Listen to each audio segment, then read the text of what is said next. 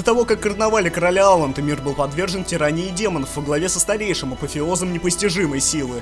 Пророки с помощью своих пророческих умений и знаний по душеведству возвращают старейшего ко сну. Тем не менее, демоны уже успели подчинить половину человечества. Для путешествий между землями были созданы архикамни, и потом все пошло на лад. Нексус, храм, связывающий земли Болитарии, является домом для душ, которые верят, что вернутся в свои тела. Под Нексусом спящий старейший, который пообещал любому, кто его разбудит, даровать процветание его землям.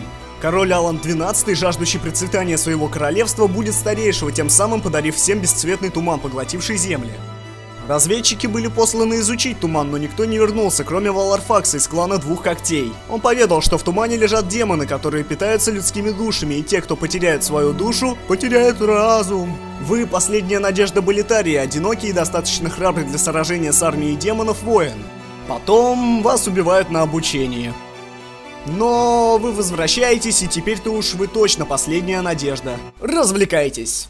Перевел озвучил Пони Стю, и да, у меня восстановилась активность. Уху!